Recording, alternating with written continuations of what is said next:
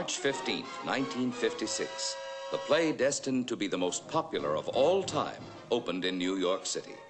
The book and lyrics of Alan J. Lerner and the never to be forgotten music of Frederick Loewe had brought George Bernard Shaw's story of the flower girl transformed into a London society lady to the hearts of the world. In London and Rome, in Tokyo, in Sweden, Mexico, Germany, and many other countries, My Fair Lady triumphed again and again. Finally, on February 6, 1962, the most important motion picture purchase of modern times was headlined by newspapers, television, and radio. Five million paid for Fair Lady by Warner's. The tremendous price paid for the film rights gave evidence of the scope envisioned by Jack Warner, who personally undertook the production. This was further supported by the announcement that Audrey Hepburn would play Eliza Doolittle.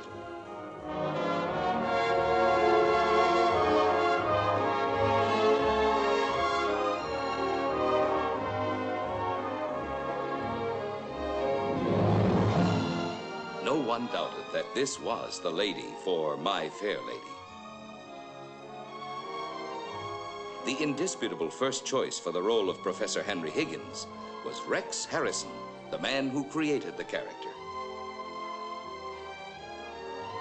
Eliza's irrepressible father, Alfred P. Doolittle, would be Stanley Holloway, who also created that role in the play. Wilfrid Hyde White as Colonel Pickering. Gladys Cooper as Mrs. Higgins. Mona Washbourne as Mrs. Pearce. Jeremy Brett as Freddie.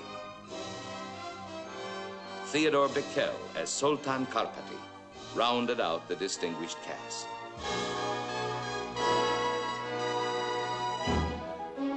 To direct these fabulous talents, Jack Warner unhesitatingly selected the renowned George Cukor.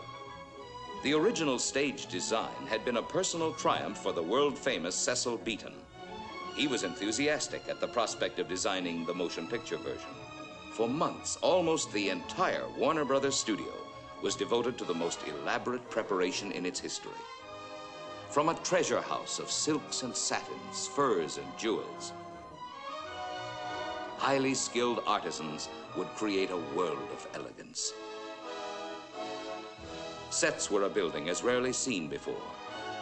Whole sections of London, the grandeur and squalor of Covent Garden, the splendor of the Embassy Ballroom,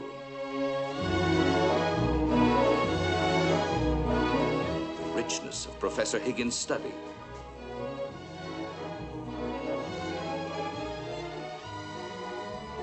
the high fashion of Mrs. Higgins' drawing room. All these were constructed in the most particular detail. On August 13th, 1963, giant Super Panavision 70 cameras began rolling on the greatest production in Warner Brothers history. A motion picture which will stand as one of the great entertainment experiences of all time. This is My Fair Lady.